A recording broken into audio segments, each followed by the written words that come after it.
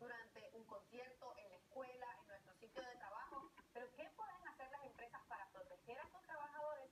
Hoy para responder esta pregunta nos acompaña, nos acompaña Julio Anca, experto en seguridad.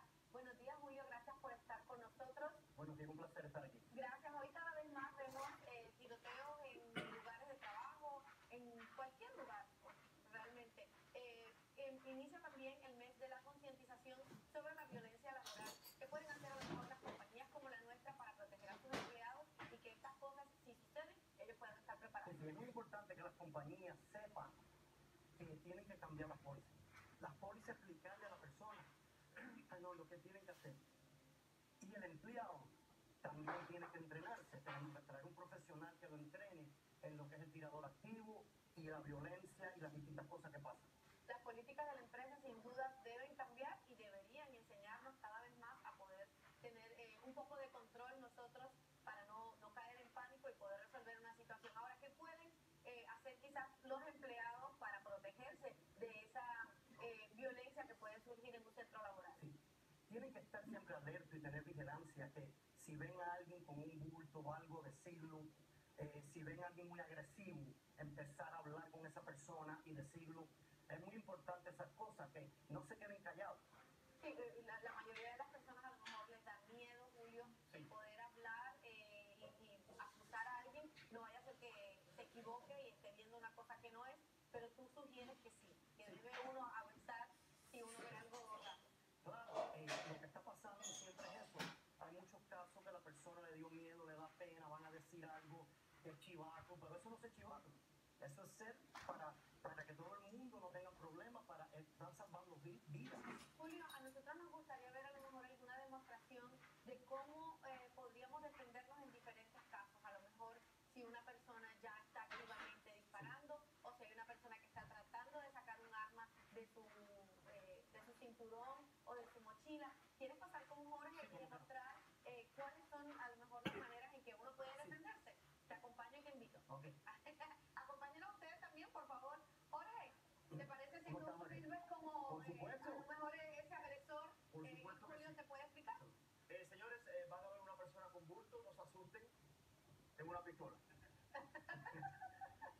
De- de- dentro de... De juguete, Claro, claro. la pistola. A ver, si una, si una persona ve algo Si sospechoso, vemos un bulto y él va a agarrar la pistola, el minuto que yo veo que va a agarrar la pistola, le tiro todo mi cuerpo y la fuerza en este brazo, le doy en el cuello lo más que pueda, lo levanto, que bien le voy a desmontar el hombro, pero quiero llevar a Jorge suave. Lo traigo por el piso, o lo controlo, lo tengo aquí una llave, y si la pistola se cayó, la agarro. Si la tiene ahí todavía, tengo que partir el brazo, darle golpe para quitarle la pistola después. Julio, podemos hacerlo, podemos hacerlo otra vez como para...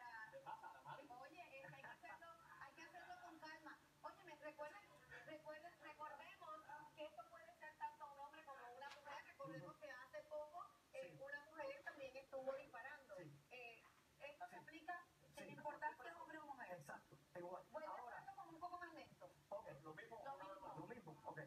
¿Hacia dónde tiene que ir la persona? Bueno, lo primero que yo hago, tiene, no- normalmente está así. Yo veo el bulto, yo veo que él va a agarrarlo, que va a mover el saco para agarrarlo. Ahí mismo le tiro ahí. Ya la sacó, le empiezo a dar en el cuello. Eso lo acaba de tumbar. Lo agarro, le pego una llave, lo traigo para el piso, lo controlo aquí, le parto el brazo y de ahí agarro la pistola y me preparo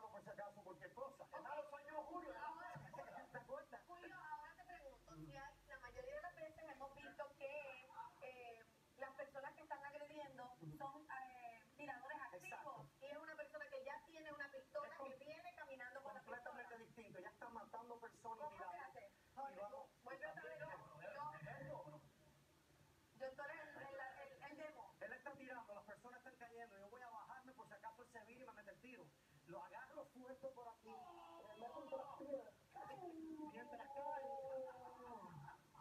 le doy, le doy, le doy, le doy.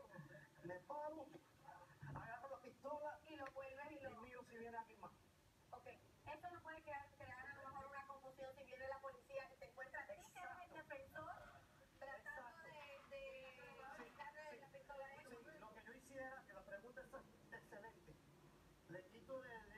este, el, el peine. Le quito el peine, la abro, la pongo aquí y me pongo aquí así por si acaso se me vuelve a levantar. Pero una persona no sabe cómo quitar el pues, Si tú me dices, si yo soy una mujer y yo trato de hacer eso, yo no sé lo que es, simplemente trato de poner la pistola en el piso y, y, Exacto. y ponerla con el, Exacto. con el pie. Exacto. ¿Algún otro consejo que uno deba seguir en el caso de encontrarse en una de estas si situaciones uno, activas? Si uno se encuentra precisamente al otro lado, se está tirando un tiro ya ya esto no es este tirador activo, pero si me tiene, me, me la pone aquí es bien fácil. Mira, yo no quiero problemas. ¡Bam! Y se la quito y le doy. Ahora bien lento. Ahora bien lento. Lo que yo hice. puntos claves que a lo mejor deberíamos tomar nosotros en cuenta de dónde podemos golpear, que podamos Sí. hacer daño. Sí. eh, cuello, El a lo cuello, mejor, cuello. y nariz. Ojo. Ah, ojo. Yo no le pego la cara. Aquí, aquí para noquearlo, los dedos, los ojos, cuando le tocan los ojos, cae, los testículos, las rodillas. Pero rápido yo no empiezo a dar en el cuello. Ok, ¿eso, eso qué hace? ¿Que, que no pueda Se respirar? ahoga. Se ahoga. Si le doy aquí, se ahoga, no, no puede respirar. Si le doy en el lado, lo noquea. Esto, a mí me, a mí me ha noqueado dos veces en, tec- en, en práctica aquí. Aquí. taekwondo, como de taekwondo o algo así. Y bueno, yo lo pongo acá. Ah, ok. Pues Julio, te agradezco muchísimo. Yo creo que estas cosas son importantes que debamos saber. A lo mejor nosotros no tenemos como mujer la fuerza, pero sí podemos, sí Exacto. sabemos cómo eh, meter la mano en los Exacto. ojos, o meter un puño en la garganta, o Ujú. agarrarlo por la garganta como para Exacto. eh, sentir que lo estamos Hay que asfixiando. saber dónde pegarle y, y sale bien. Gracias, gracias por Gracias a habernos ustedes. acompañado el día de hoy. se te olvidó los testículos. Bueno, eso